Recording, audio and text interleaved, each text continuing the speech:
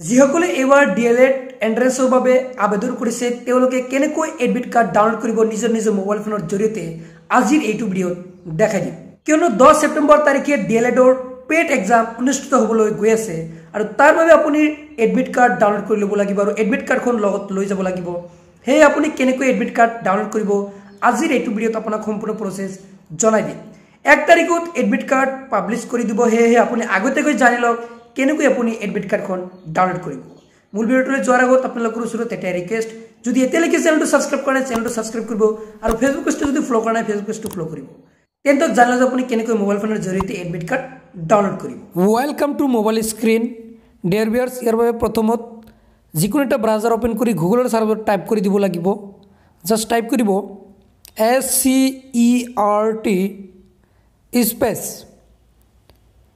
P E T just এইখিনি লিখি search কৰিব।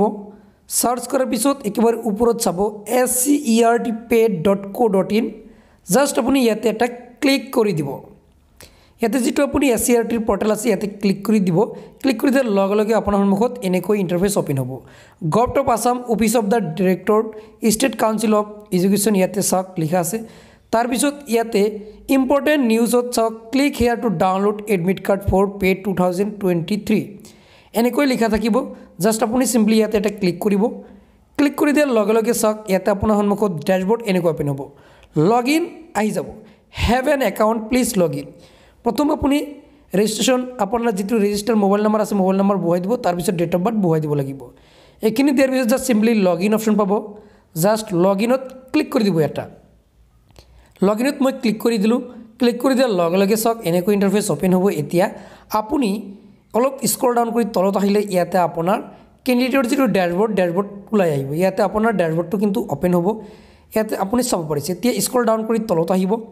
তলত আহিলে আপুনি ইয়াতে আপোনাৰ কিন্তু ভেনিউটো চাব পাৰিব লক্ষ্য কৰিব পাৰিব। ইয়াতে চাওক লিখা আছে ডাউনলোড এডমিট কাৰ্ড যিটো ইয়াতে এডমিট কাৰ্ড লিখা থাকিব। ইয়াতে ক্লিক হেয়াৰ বুলি এটা অপশ্যন পাব। জাষ্ট আপুনি ইয়াতে এটা ক্লিক কৰিব যিটো ক্লিক হেয়াৰ লিখা আছে। ইয়াতে ক্লিক কৰি দিয়াৰ লগে লগে আপুনি লক্ষ্য কৰিব পাৰিব ডাউনলোডিং চাওক ডাউনলোডিং হৈ আছে। এডমিট কাৰ্ডখন এনেকৈ ডাউনলোড হৈ যাব আপোনাৰ মোবাইল ফোনত তাৰপিছত আপুনি আপোনাৰ ফাইল মেনেজাৰত নাইবা আপোনাৰ অট'মেটিকলি অ'পেন হ'ব পি ডি এফ যেতিয়া আপোনাৰ পি ডি এফ ৰিডাৰ এটা এপ থাকিব।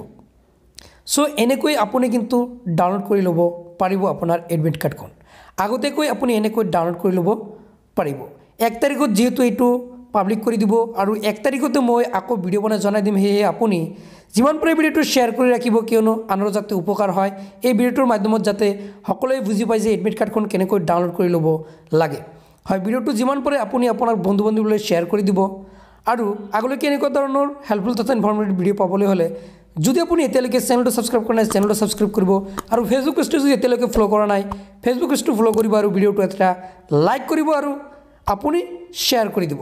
চ' আজিলৈ ইমানে বাই বাই